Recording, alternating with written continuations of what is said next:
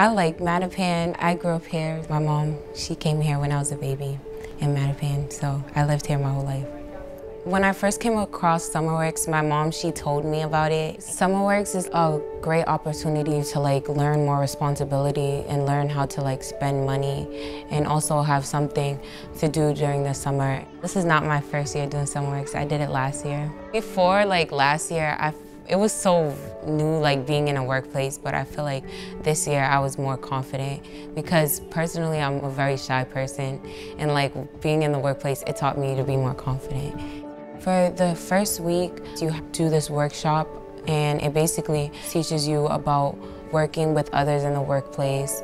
When I learned about interview skills, it just told you need to be confident, you need to be bold, and you need to like show eye contact. So first and foremost, what's important during an interview is as soon as you get up, you start off with a strong handshake.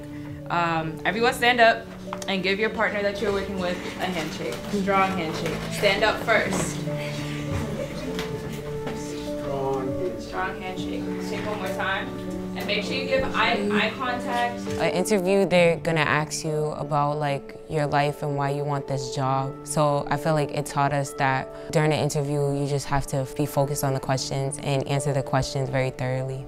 My trick is to be able to talk for about two minutes for each question that someone asks so that they can so it shows that you like can think thoughtfully about yourself. We also learned about creating resumes. I really like resumes because it basically talks about everything that you did that made you come to get the job.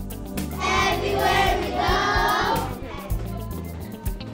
people wanna know. The work site that I'm working at is PACE, and SummerWorks, they ask me, what do you want to do? Do you want to do office work, childcare? And I always say childcare because I just love kids. I just like seeing their different personalities and their uniqueness.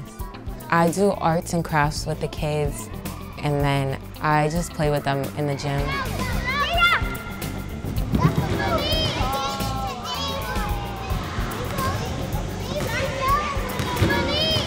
And most of the time in the class, I just interact with them and just ask them how they doing and stuff like that. I'm so glad that I'm working with SummerWorks during the summer because like I don't just want to sit around in the house and do nothing all summer. So it's like a great opportunity.